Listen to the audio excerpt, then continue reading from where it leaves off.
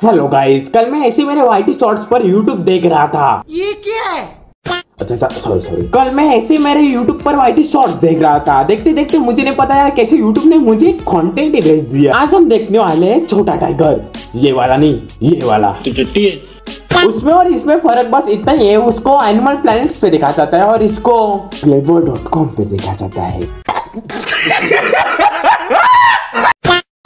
मैं भी बहुत शरीफ था। हाँ का मतलब जानता है ना। भाई मुझे पता है तू पहले बहुत ज़्यादा शरीफ था।